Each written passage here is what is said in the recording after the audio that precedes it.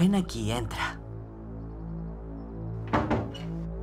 Ahora, por favor, cuéntame, ¿qué pasó anoche?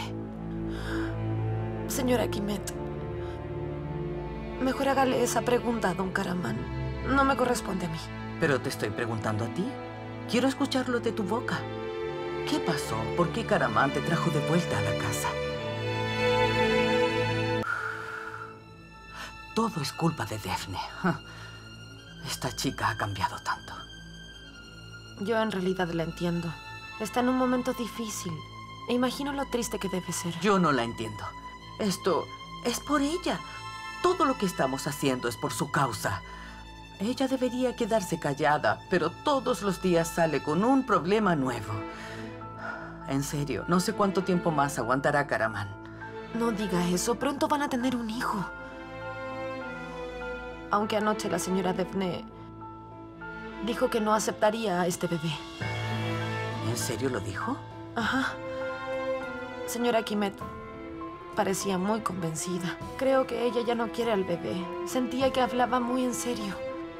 ¿No harían algo así, o sí? ¿No renunciarían al bebé? Por supuesto que no, querida. Hemos pasado por mucho para tener a este bebé. Somos muchas las personas que esperamos a este niño, lo sabes. Sé que no soy su madre, pero me encariñé con él. Sería espantoso si le pasa algo.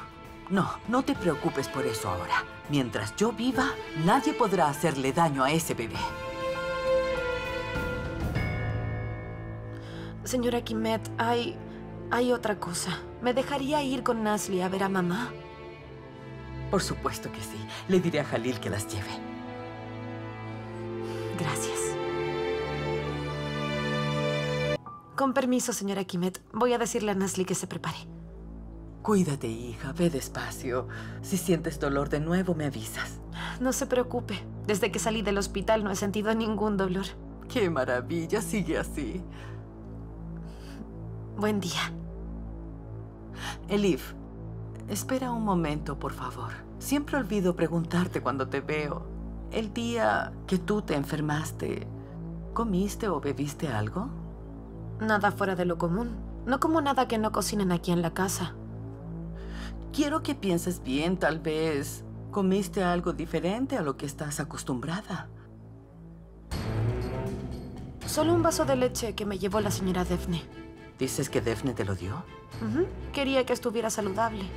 Insistió mucho, así que la bebí toda. Pero siempre tomo leche, señora Kimet. La tomo desde pequeña. Aunque el último tiempo me descompone un poco el estómago. Le dije que no quería.